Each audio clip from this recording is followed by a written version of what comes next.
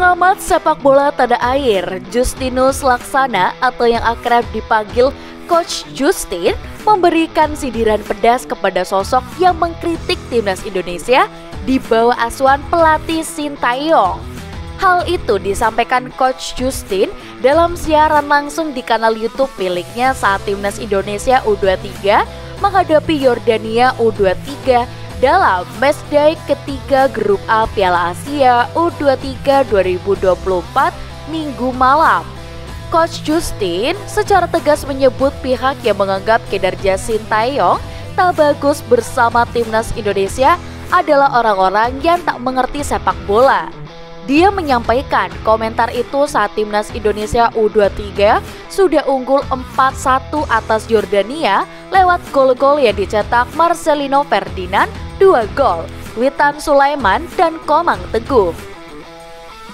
Gol Yordania sendiri datang dari bantuan timnas Indonesia U23 di mana Justin Hafner melakukan aksi gol bunuh diri pada menit ke-79. Gila, gue gak ngerti ya yang bilang Sintayong itu jelek. Gak paham gue, asli mereka gak ngerti bola. Kata Coach Justin dikutip dari rekaman siaran langsung di kanal Youtube pada selasa sore kemarin. Komentar Coach Justin memang tidak secara spesifik menyebut nama tertentu, tetapi melihat dinamika ke belakang, pengamat sepak bola Tommy Welly alias Bung Towel dianggap warganet merupakan salah satu orang yang tengah disindir. Bung Toel belakangan memang kerap mengkritik Sintayong. Bahkan ketika Garuda Muda mengalahkan Australia 1-0 dalam matchday kedua grup A pada Kamis lalu. Kritik terhadap Sintayong dilancarkan Bung Toel saat menghadiri acara talk show di salah satu televisi swasta.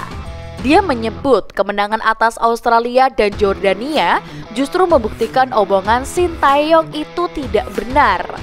Bung Toel menegaskan bahwa belum ada filosofi yang dimiliki oleh timnas Indonesia selama dipimpin oleh Sintayong.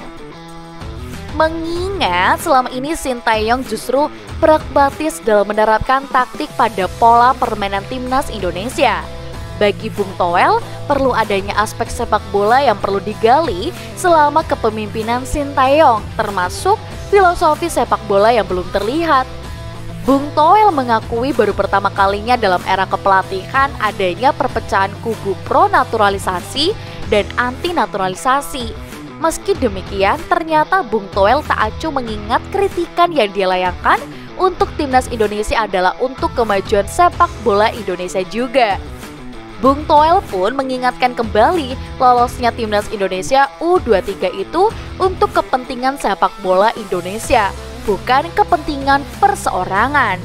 Bung Toel menyebut ada faktor lain di luar peran Sintayong sebagai pelatih sepak bola, seperti program naturalisasi dan hal lain yang juga harus diapresiasi.